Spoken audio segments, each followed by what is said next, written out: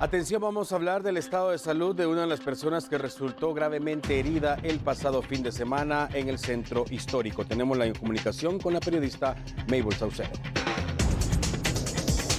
Gracias Diana, buenas tardes. Y es que hemos dado seguimiento al estado de salud de estos dos hombres que fueron trasladados hacia el Hospital Roosevelt, específicamente a la unidad de oftalmología, ya que lamentablemente perdieron ambos el ojo izquierdo por eh, los diferentes traumas que sufrieron tras las manifestaciones del día sábado. De tal manera es importante destacar que el Hospital Roosevelt ha informado que el paciente de 21 años, identificado como Kenneth López, ha sido dado de alta. Ya tuvo egreso, sin embargo, seguirá en tratamiento oftalmológico ambulatorio mientras que el otro hombre, Santos Manuel González, de 29 años, a él también se le realizó una enucleación del globo ocular izquierdo, es decir, que perdió también su ojo izquierdo.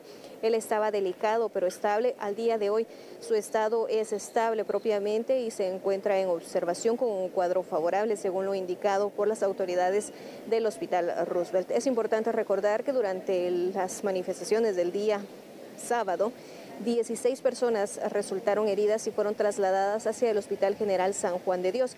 14 de ellas fueron dadas de alta de manera inmediata, pero presentaban distintos politraumatismos, también intoxicación. Sin embargo, no de consideración para meritar una hospitalización, pero estos dos hombres sí y son los que se encontraban en el Hospital Roosevelt por estas, eh, estas heridas en sus ojos. De tal manera, uno de ellos ya fue dado de alta, el otro continúa ingresado, pero ya con un cuadro más favorable, aunque lamentablemente ambos perdieron el ojo izquierdo. Es la información que tenemos en Cámara Vilar Martínez. Retornamos con ustedes.